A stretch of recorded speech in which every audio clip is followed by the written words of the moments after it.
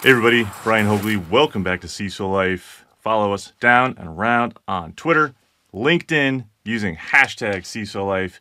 Obviously, thanks out to Side Channel. For today, want to talk about microsegmentation zero trust. Definitely an area that Side Channel is focusing on with its Enclave product. But let's dig into what is microsegmentation. Why is it a pathway to zero trust? No, not saying that microsegmentation or our product is zero trust. That is an entire concept.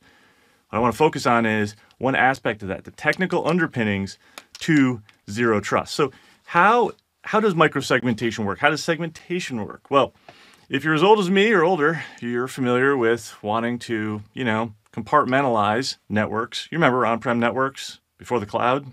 Yeah, they existed on Earth. Anyway, we used to want to build out structured environments that weren't flat. Go figure. And now because of the proliferation of cloud, the expansion of systems and such.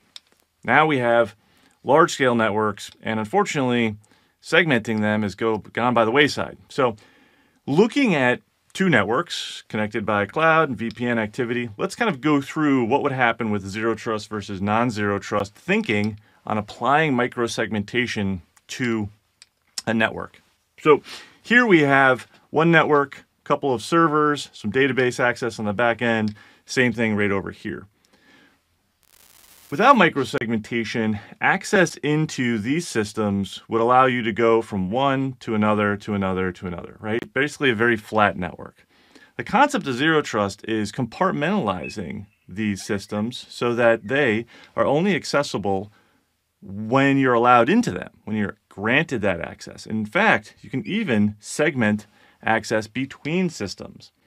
So this becomes very important when you start thinking about compartmentalizing environments so that in case one area gets breached, another area is not also compromised.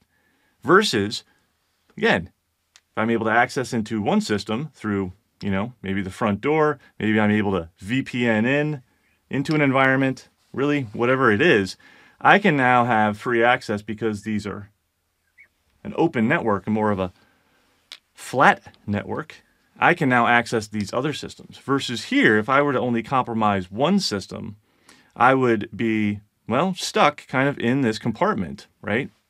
That's the entire concept. That's the thinking. And generally, this is not done because it is difficult to one, assess how many systems you have in your environment, what those systems do, but also Rolling these out has traditionally been done via hardware means. Well, with software-defined networking, or SDN,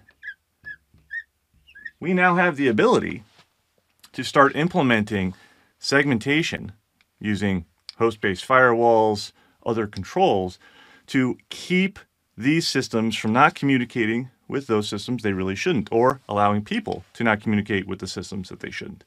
So basically general concept, but not put into place, not put into action, yet incredibly effective when looking to defend a network and in fact be able to contain a network or quarantine uh, a breach. These these are very big aspects. Everyone focuses on obviously, hey, how do we stop everybody from coming in? Well, if we're creating VPNs and creating ancillary ways for people to access the networks, we have to think about where else can they go once in. It's no longer just let's put the good front door in, and everyone who's allowed to come in is supposed to do the way they are, act accordingly, and there's no chance that they'll ever be compromised. Well, let's assume breach, let's assume zero trust. Let's make it so that we do not trust those that are coming into the environments and accessing them. Therefore, how do we build those networks? How do we build those environments when we're thinking about a zero trust? And microsegmentation or just segmentation is one key concept to be able to make that happen. Again, just some thoughts and some ideas. Pretty basic concept, easy enough to roll out. Very proud of what we've done with Enclave and pushing this concept out to market through software-defined networking. Again, Brian Haugli with Side Channel. Follow us anywhere around using hashtag CISOLife. You can follow me down on LinkedIn. I'll talk to you later. Thanks.